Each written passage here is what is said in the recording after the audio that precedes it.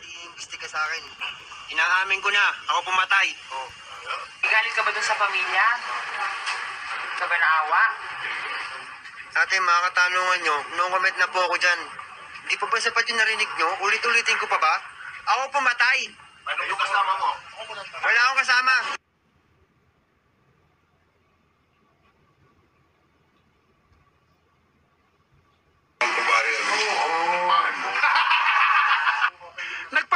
Nagpapasalamat nga si Bautista dahil hindi siya nasugatan ng atakihin ni Valentino. Kita nyo si CCTV, talagang tinagayo, no?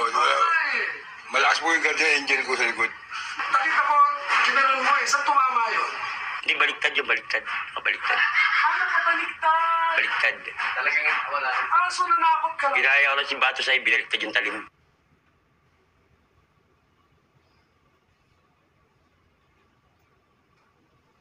droga pero hindi raw niya inabuso ang biktima. Kapag nakaupo ka sa bisikleta, naniniwala po ako na nababawasan po ang virginity ng, ng isang tao. Sinasabi mo yung nasa nation pwede nangyari sa bike pa naman.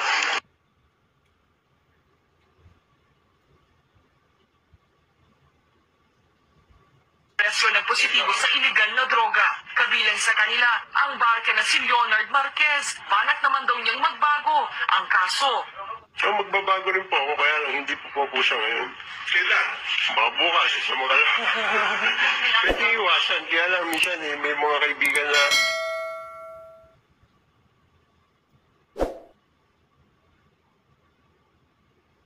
Tanod, dito na nadakip ang suspect pero nagmamaang-maangan pa ang umag. Tulog po ako. Siguro, umiral siguro yung kadimonyo ng aking kamay. Gumalaw. Pero aminado ito na gumagamit siya ng ipinagbabawal na gamot. yun, no? Hmm, aamin din naman ako. Wala naman tao na hindi perfecto.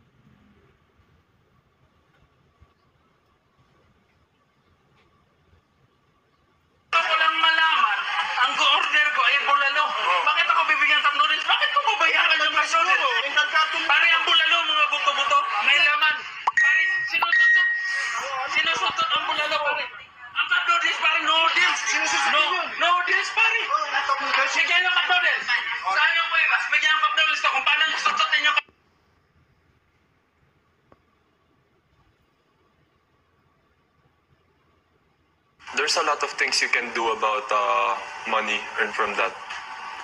Kush, 1.5 M per kilo. Maybe I can change the Philippines, like run the run for politics. Dapat ay hindi raw ikinukulong ang mga gaya niyang malinis ang intensyon. Advance ako mag-isip. Look at Antipolo. How much is the land land uh, area of Antipolo unused? Good for farming of marijuana.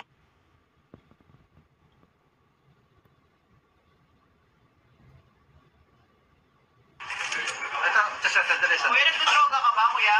Paano masabi? Tinatanong ko nga, eh, Idaragtas niyo ako para masigurado niyo. Kuya, Kuya, anong style ba yung buhok na gusto mo sanang Gusto ko kalpo, kaso na hindi marunong yung nagugupit. Hindi marunong? Magkano binayad mo?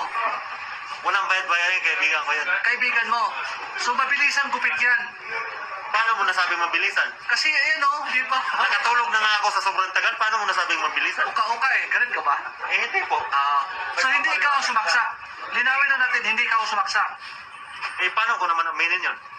So nagsinungaling ka na hindi ka ikaw? Nagsinungaling ako na ako yung sumaksak dahil nasasaktan na po ako. eh. Tingnan mo.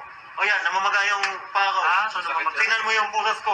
Oo, oh, ayan. Tingnan mo, ngayon lang nilulugan. Ikaw ko ikaw sa sarili ko. Yung buhok, yung buhok. Yung buhok, yung buhok. Yung buhok, ayan, hindi pa tapos. So, ayun, oh, sugat-sugat pa. Yung upa, patingin niya, kuya, patingin mo. So, hindi pa tapos. Yun, oh, hindi pa tapos yung buhok, oh. Bumata ka ba? Kaya gumamit ka? Gumamit? Oo. Bakit mo ba ang tanongin? Dapat drug test mo na lang ako para masiguro mo. mamaya nagka-drug test ka? Hindi mo na makikita sa sarili yung pangangatawan ng tao sa mukha ng tao.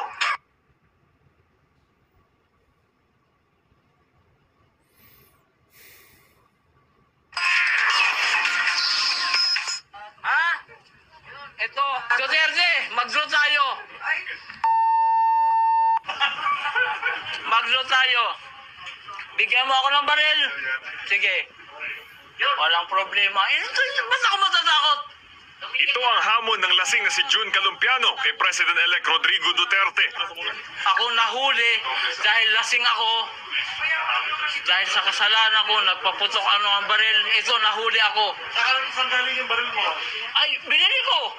Bakit? Alam nga naman, hindi, hindi lisensyado yan. Galing yan sa illegal.